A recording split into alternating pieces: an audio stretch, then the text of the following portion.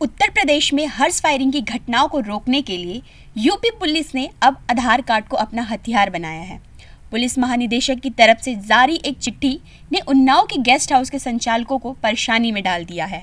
अभी तक लोग कमर में असलाहा रखकर मांगलिक कार्यक्रमों में रहते थे और फायरिंग करते थे, लेकिन अब गेस्ट हाउस में कमर में असलाहा लगाकर प्रवेश करने के लिए अपने आधार कार्ड की कॉपी गेस्ट हाउस संचालक के पास जमा करनी होगी।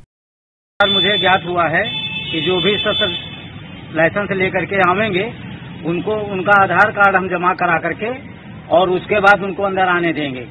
और बगैर आधार कार्ड के फ़ोटो कापी जमा कराए हुए उनको अंदर नहीं आने देंगे। लेकिन यहाँ दादागिरी चलती है, लोग ज़बरदस्ती करते हैं। वैसे तो ये पुलिस का काम है, लेकिन फिर भी हमारे गार्ड रहते हैं, उसकी निगरानी रखेंगे अगर वो कोई ज़ोर ज़बरदस्ती करते हैं मैं पुलिस को इन्फॉर्म करूँगा, जिससे वो आकर के इस समस्या को हल किया हर्ष फायरिंग को रोकने के लिए यूपी पुलिस ने आधार को बनाया है हथियार।